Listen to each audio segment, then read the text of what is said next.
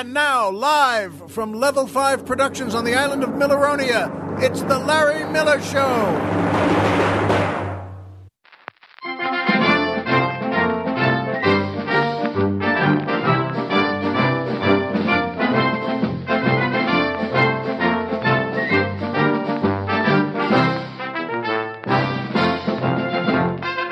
Good evening, Mr. and Mrs. America, and everyone who really wants a commemorative t shirt.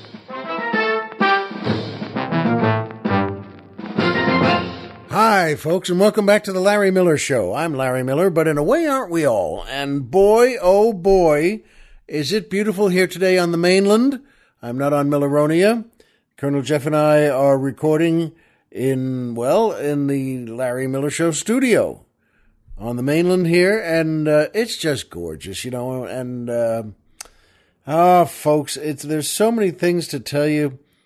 I mean, first of all, if if you know, we, we I can tell you the way we celebrate Easter and Passover on Milleronia, and it's a wonderful ceremony, by the way, and uh, we keep them separate, even though probably that's you know it's the same holiday. I'll tell you about that uh, more a little later. But boy, oh boy, it's just so gorgeous to be back here. And uh, as ever, that music makes me happy. Of course, that's the Lieutenant Colonel James Doolittle Orchestra and the Ann Ritterstein Dancers featuring boy tenor Tabby Stone asking the musical question, You know, I'm a guy, right? Now, that, not surprisingly, that puzzled me for a second, and it puzzled Colonel Jeff too, and then well, uh, Tabby says that, uh, and I believe him, you know, and so does Colonel Jeff, that he says I mentioned him. I mentioned him a few weeks ago uh, as a girl tenor because uh, that's the name Tabby Stone. But he says he's not a girl; he's a boy. And uh, hey, I buy that. And you know what, Tabby? I'm glad for you. And uh, I'm sorry I made that mistake. It's a I'll, I'll be honest. I'd, I'd, like to know. Let us know. By the way, send it to you know to our website. Let us know how you got the name Tabby. Is that like the Don Rickles song that you know? How do you do? My name is Sue. And uh, well, nothing's like that song. Really, come to think of it, that's just a great song. But uh, let us know, Tabby. You know, you're not a girl, you're a boy, and maybe there's a story behind that name that I can say again. But I'm glad Glad you wrote in, and I'm glad you let me know. And it's actually, you know, who would who would make uh, that funny? By the way, he would make that very funny because he could make anything very funny. The great Don Rickles. And you must know that uh, Don, God bless him, passed away a couple of weeks ago. And uh, we couldn't do a show last week because Colonel Jeff was back with his family, back in farm country in Pennsylvania where he's from, and they were celebrating Easter together. And Don Rickles, though, folks, I have to tell you, there are times, and I think you know I believe this, there are times to stop and smile and look up and say, God bless you, boy, oh boy, you were something else. And that man, Don Rickles, no one has ever been funnier than Don Rickles. I was just telling Colonel Jeff that I was on a plane uh, oh, this is about 10 years ago. And uh, Don Rickles was on in an interview on the on the screen on the plane on all the screens on the plane, and everyone was uh, watching it at the same time. And he was being interviewed by uh, a young woman, and uh, she asked him about someone, uh, a beautiful actress he had just worked with in something in a movie or TV show. But the point is, Don, I've got the headphones on, and Don says to her, terrific lady, wonderful, uh, very pretty. Of course, now she's downstairs in my basement going, uh, uh, and he just did one of those sounds he could do. And folks, I still don't even get it, but I howled. Just him doing that, doing, which is one of those Rickles things. And I'm telling you, every single person on the plane howled with me. Every single one. And I know that if I walked up or you walked up to all of them and just say, hey, by the way, explain that to me. Why was that funny? There's no answer. It's funny because it's Don Rickles. And boy, oh boy, he could just say something. And when he put his two fingers on those seams of that ball and actually reared back and fired a fastball. Holy mackerel! No one was ever funnier than Don. And by the way, he's been called a lot. I'm sure you've read in his obituaries that, uh, well, the insult comic, you know, everyone had always said that, you know, that's the, Don Rickles, the insult comic. And he hated that phrase. He hated that name. And so do I. He said, you know, I'm not, I'm not an insult comic. I'm a comic. And he's right. He's exactly right. I never saw him as an insult comic. I'm telling you, I saw him as a guy when he, my dad, God bless him, used to, and uh, my dad and I would stay up in the late 60s to watch him just if he was on The Tonight Show. Well, we'd watch it with Johnny too, but uh, this was definite. That This was a must, talk about must see TV. If Don Rickles was hosting The Tonight Show, holy mackerel was he funny. And again, just being Don and turning to Ed McMahon, the same thing. Ed, it's nice to see you. Of course, I know you're going home later, and you know, and he would just do a drinking sound and emotion. And Ed laughed. The audience howled. I howled. My dad howled. We all just laughed. What a comic. And a great man, a great guy, a great giver to charities, very generous. And uh, I ran into him a handful of times over the uh, over the years at the airport, and he'd be going somewhere, and I'd be going somewhere, and he was so sweet. He'd always come over and just say, uh, well, "Larry, good to see you," you know, and uh, and he had such a sweet smile and calm look, and I was thrilled to see him. I would say, "Oh boy, Don, it's great. Where you going?" Well, I'm going here, you know, and uh, where you going? I said, oh, well, I'm going here and there. And, uh, and then he would smile and he'd say, of course, you know, once you get there, you got to, whatever he would say, he would toss a fastball in. And I howled. I would just uh, drop my luggage to laugh with Don. Not at Don, with Don. And no one ever wore a tuxedo better than that. I think, I think you have to go with Frank Sinatra for who wore a tuxedo best. And but boy, oh boy, Don was from that school of you put on a good tux and you go out to entertain and you make people howl.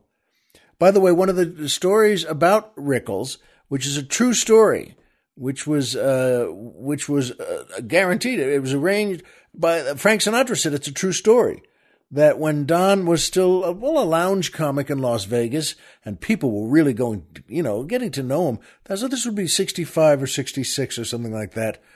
And uh, uh, so he was out with a chorus girl at uh, dinner in uh, Las Vegas somewhere and he sees Frank Sinatra is in the restaurant too. And uh, and everybody knew Rickles at that point especially well all the all the big big guys in Las Vegas, but uh, they'd never met. And uh, Don followed him into the bathroom, and he said, uh, "Ah, Mr. Sinatra, I just want to say I'm sorry to bother you, but you know, uh, if Sinatra's at the sink washing up." And he said, uh, "Sinatra said, oh hiya, Don," and uh, and uh, Rickles said to him. Do me a favor. If if if you feel like it, this is uh, you know, the, this would really uh, help things. I'm out to dinner tonight. It's a first date with a chorus girl from the mention the hotel or whatever it is. And uh, if you if you feel like it, do me a favor, just on your way out, just just stop by the table, just walk by and just say, uh, "Oh, hi, Don. Good to see you." You know, it'd it'd make things a little fancier. You know, make things a little more official. And uh, Sinatra says to him, "You got a deal, Don." And uh, so he, Rickles, they both go back up. Rickles sits back down again, and sure enough, in about five minutes, Sinatra walks by the table and says to him, "Oh, hiya, Don. How you doing?" And Rickles just looks up and says, "Not now, Frank. I'm busy." now, I don't know where you get. Uh, my dad used to say, you know, could you uh, drop your pants for a second? Because they must be brass, and I want to see what a set like that looks like when it's brass. And by the way, the story is uh, he says that he, I mean, he just dismisses Sinatra. You know, not now, Frank. I'm busy. And he's Sinatra standing there, and and this Dennis Rickles and, and Sinatra confirmed it. After about two seconds, Sinatra starts to laugh. And he never laughed that hard in his life. He, he howled laughing at this thing Rickles just did and set him up on. Who does that? But Rickles did, and Sinatra loved it. But that's a heck of a story, isn't it, folks? I mean, good Lord. I mean, there are great Sinatra, there's great stories about everyone, especially at that level. But boy, oh boy, everyone loved Rickles. Everyone I knew loved Rickles. And everyone would turn on anything if Rickles was on it. And whether we were on an airplane, just to laugh so hard at Rickles saying something, whether he would walk out on a stage, well, in Las Vegas, a big stage on a big, oh, in a big theater in a big, uh, in a big hotel. God bless him. He was great. He was 90 years old. There are so many things to tell. What, and they were best friends with Bob Newhart, by the way. They just loved each other for, forever, for all the decades of, of show business. And, uh, well, he's passed on now, but I feel absolutely, absolutely perfect looking up with a smile and saying, you know what? God bless you, Don. You're all right. And by Amazon and PayPal. That's right. Now, these, these companies, folks, these are worth knowing about. Amazon does something no other company on the planet Earth ever does. They do three things. One, order anything you want, you'll get it. Anything you want. Two, they already have it. They don't even have to send for it. They don't even have to make it. They don't have to borrow it. They already have it in that gigantic Amazon warehouse. It's a mile long and a mile wide and a mile high and a mile deep. They already have it. And three, one we love that's most important, they send a percentage of whatever you order here to the show. And uh, we put that money, uh, Colonel Jeff and I put that money right in a big steel box. And that's the money we save for our next big fancy fried chicken dinner with two drinks beforehand in a different place. The one we may, may, may invite Dr. Chris back on. We have for the last two years. And uh, well, we, we love the guy anyway, but it's, it's, he's in a tough rut there. He's a tough in a tough groove. He's a clog dancing major for his doctorate in clog dancing at the University of Solvang, Solvang, which is a real place, a real school. And uh, so you know what Amazon does every oh everything. You know what, folks, give them a call, but don't give them a call. Let us give them a call because you know what? You can get on any machine you have, an iPhone and uh, anything with a screen on it, and get to Amazon. Don't do that. What you do is go to our website, Larry Miller Podcast. but I can't remember these things. How dumb can one get? Larry Miller Podcast dot com. Who's on the mountain? Tom Mix.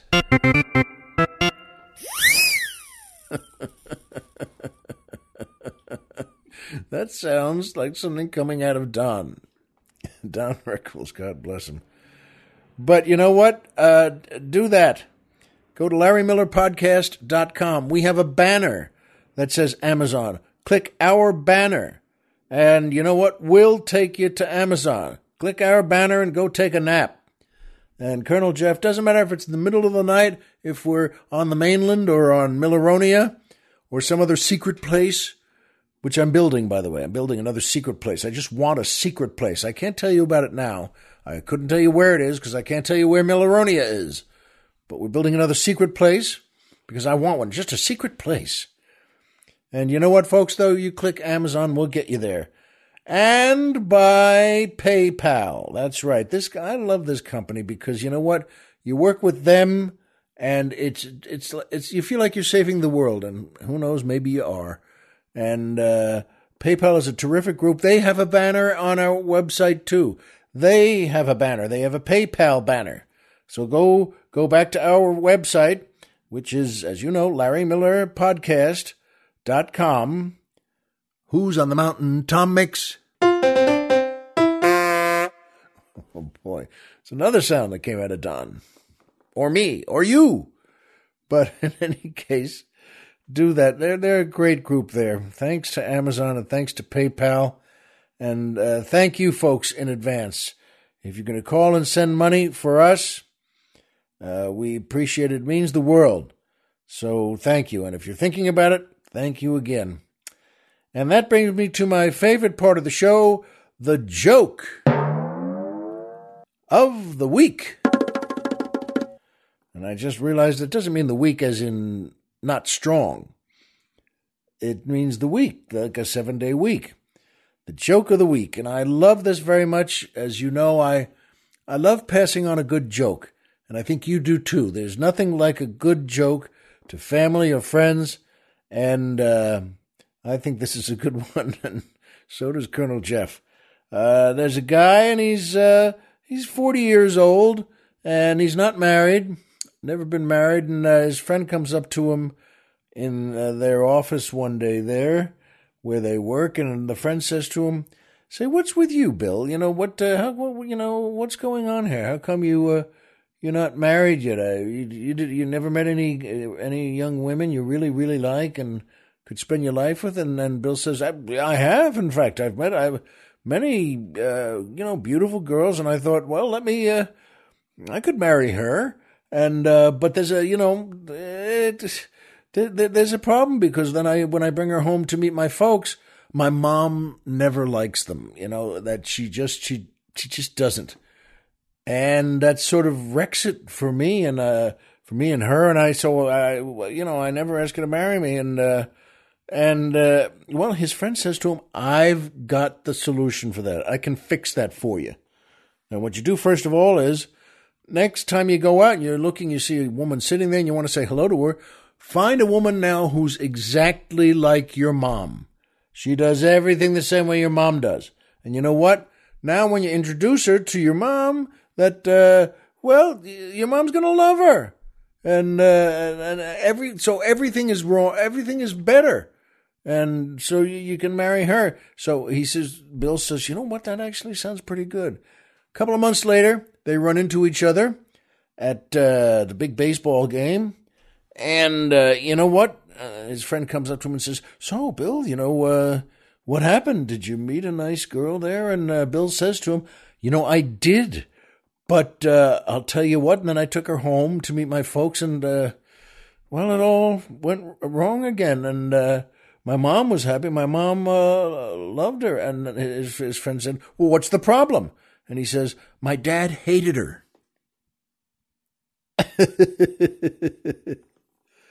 That's a pretty good joke, isn't it? I didn't see that coming. Oh, now it's the other way.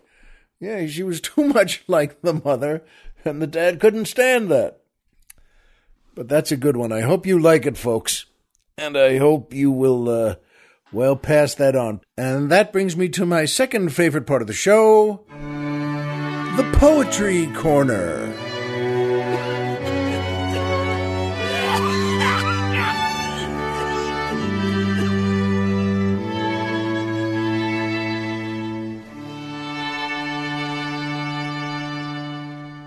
Boy, that string quartet is beautiful as always. It really moves me. And uh, you know, folks, I think the guy coughing there may have just been that may have been part of his reaction to a Don Rickles show. He's laughing so hard he can't even breathe. God bless you, Don.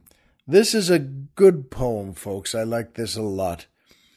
It's called Always Marry an April Girl by Ogden Nash, the great Ogden Nash. He is so wonderful an American poet who was just uh, as clever, as warm, and as wonderful, and as good a wordsmith as anyone. And I thought that was a great title Always Marry an April Girl. So here it is by Ogden Nash. Praise the spells and bless the charms. I found April in my arms. April golden, April cloudy, gracious, cruel, tender, rowdy, April soft in flowered languor, April cold with sudden anger, ever changing, ever true. I love April. I love you. Isn't that nice? It goes to show you, boy, about poetry that sometimes long, sometimes short. But oh, the soul and the wit of Ogden Nash and the warmth. Hmm. Ever changing, ever true. I love April. I love you. And that brings me to my third favorite part of the show MMM. Triple M, the magic movie moment.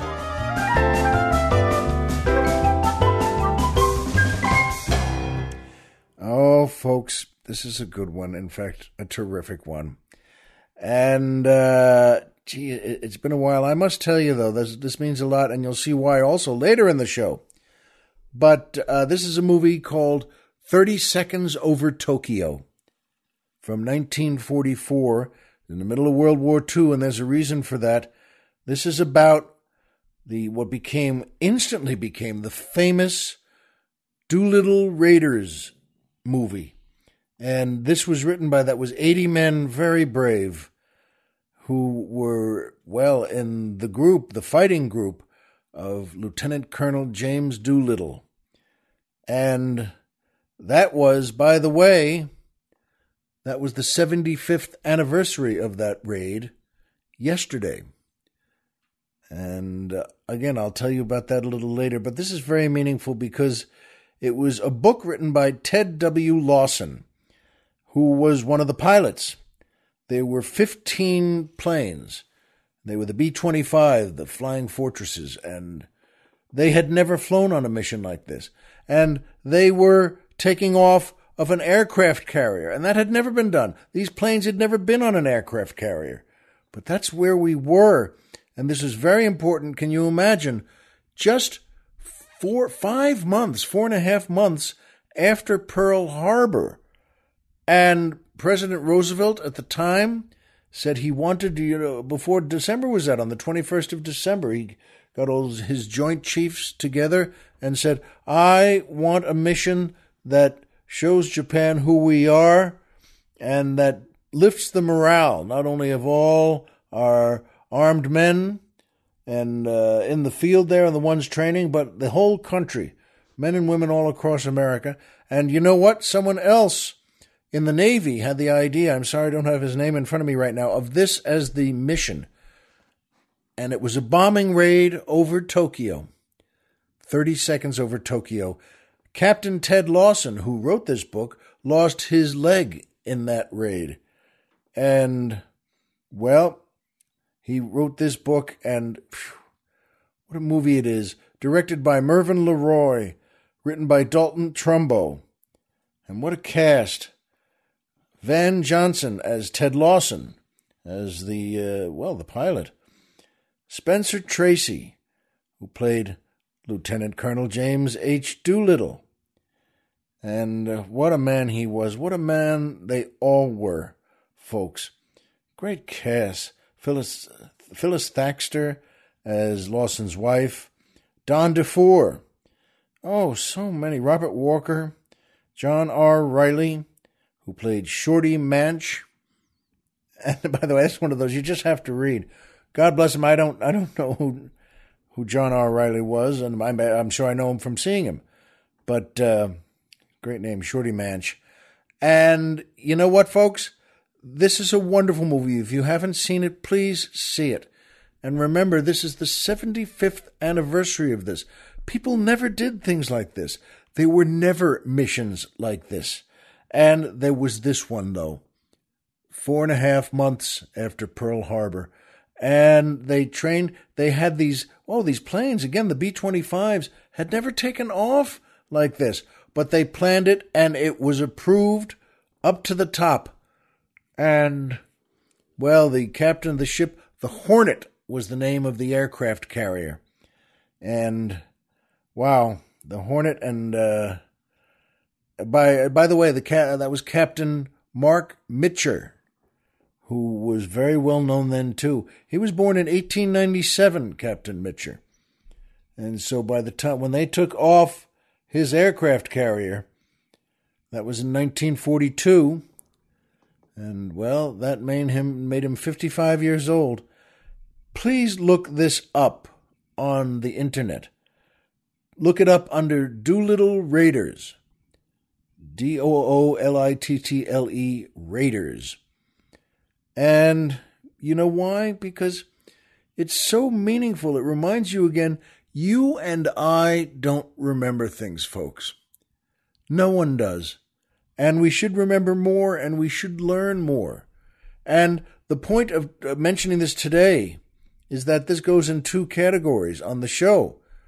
Well, Magic Movie Moment, there are so many in this great film, but I really just wanted to tell you about it because of the anniversary and because how deeply felt this mission was. Everyone, everyone thought it was the greatest thing that ever happened across the country. Every headline, everything, every American, every every soldier, sailor, and pilot and marine. And by the way, remember we didn't have the Air Force at that point yet. American forces didn't. There was no Air Force, so well, Lieutenant Colonel Doolittle was in what they called the United States Army Air Force. That's what they called it for all of, all of World War II. Everything, all the bombing missions and all the fighter planes, everything over Europe and everything over Germany and into Germany and everything all over Japan.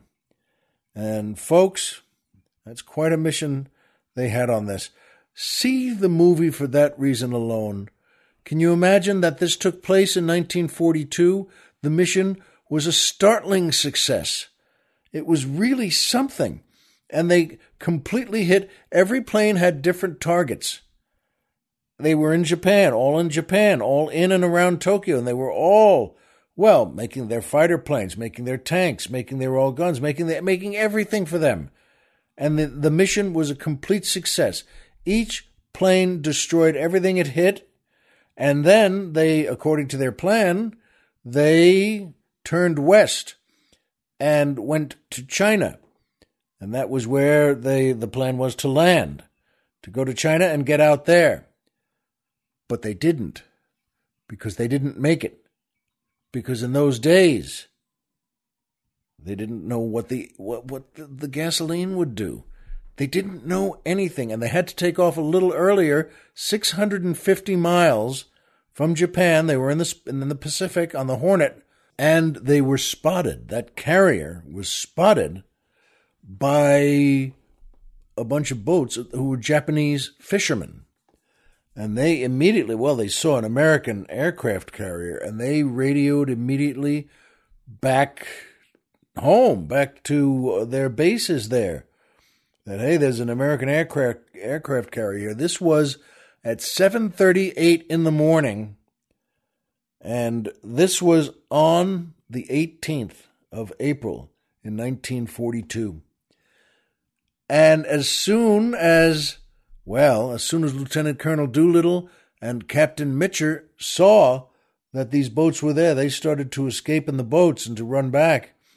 As soon as they saw that, they knew they had to move up 10 hours on their schedule because uh, once this news got back to Japan, they'd been in tremendous, t- uh, tremendous trouble.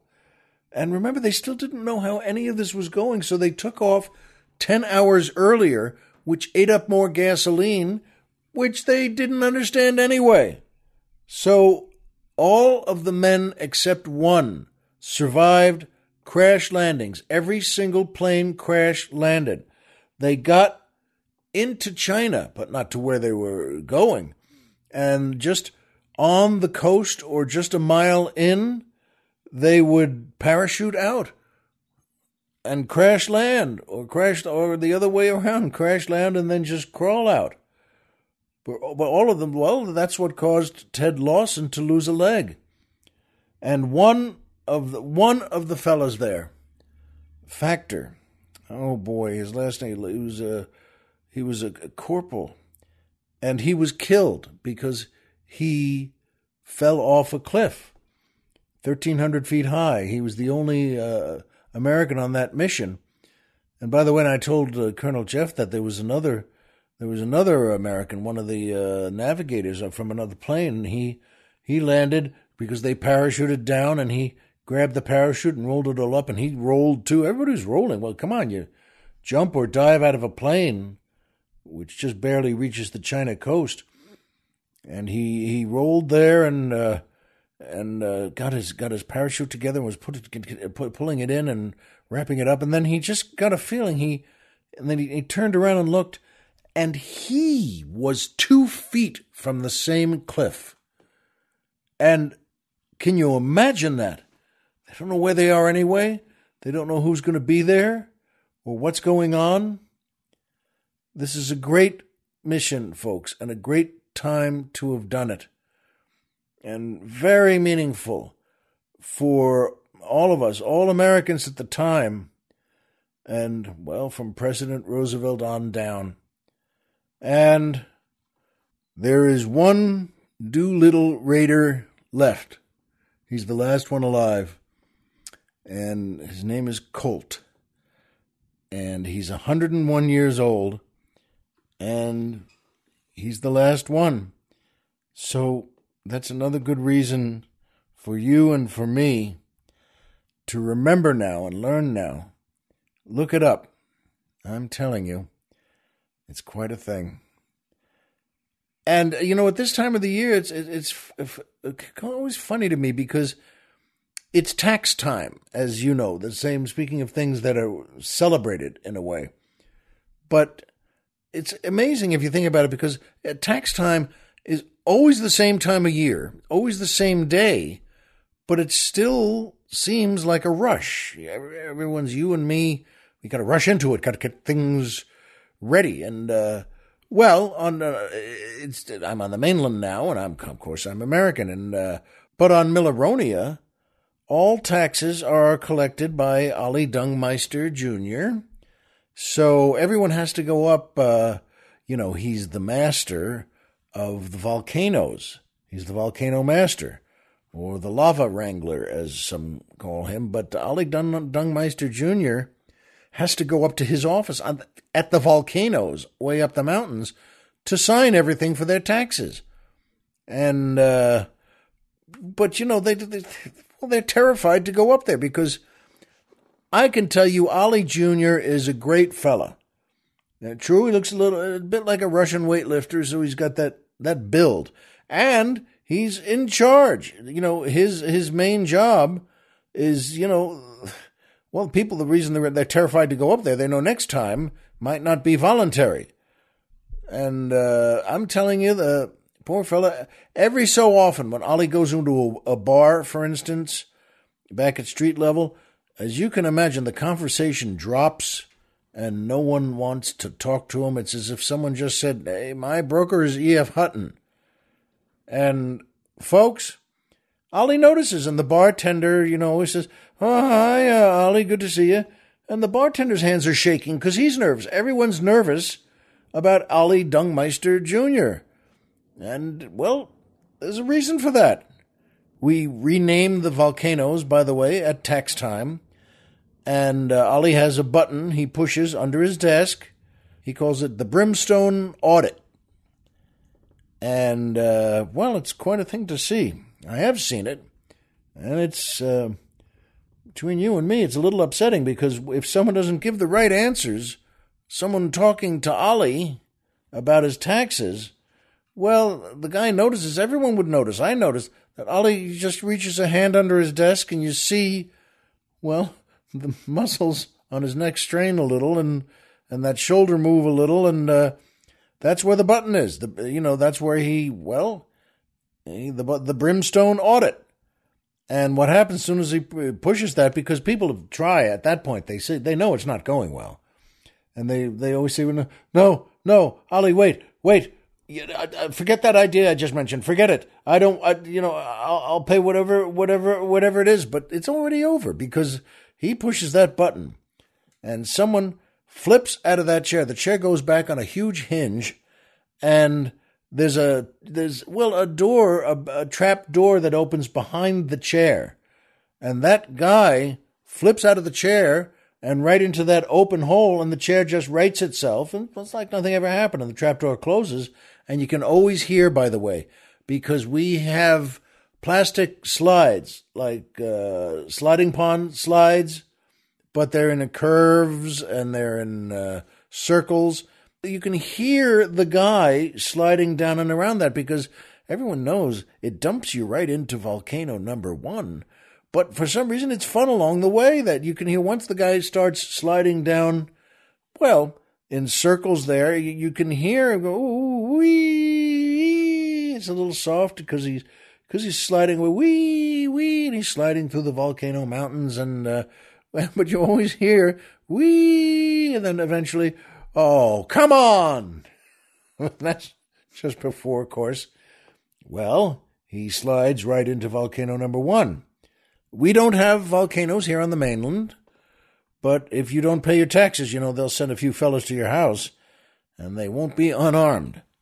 But there are two other things that come at the same time of year again, and they're very meaningful. We just had Easter and Passover, as you know.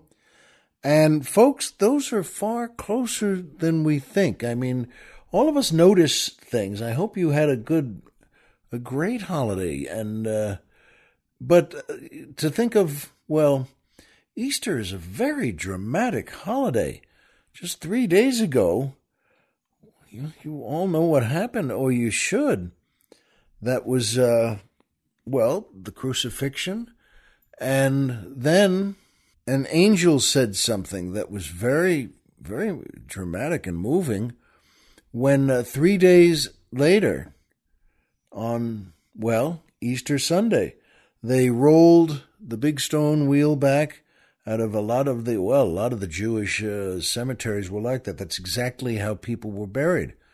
They'd sort of have a stone hole, and uh, it was like a little room or a little tunnel, but very little. And then the body was laying, uh, the body was laid down in there, and then uh, they walked out and rolled a piece of stone, a circular piece of stone in front of it.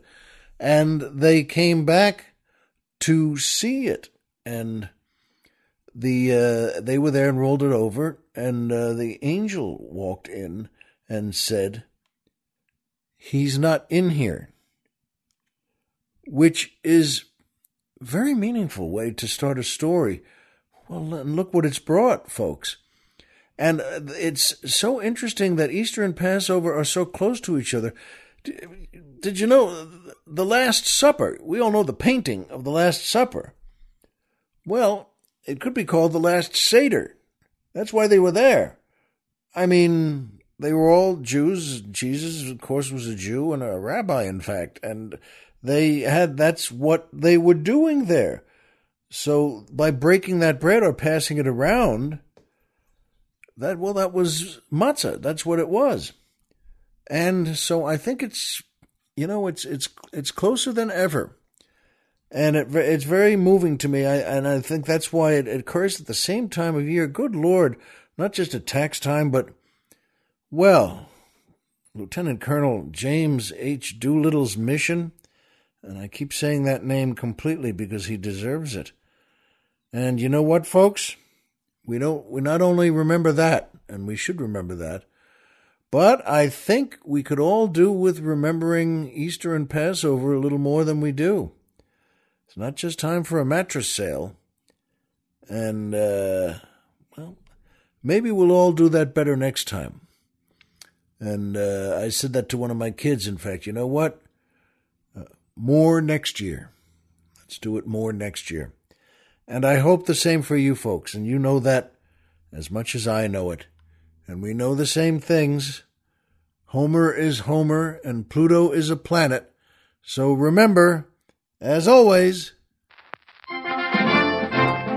if you walked out of bed today and had a job to go to and a home to come back to, and someone there who cares about you, folks, the game's over and you've won. Just like Doolittle and his Raiders won and just like Easter and Passover win. We'll see you here next time.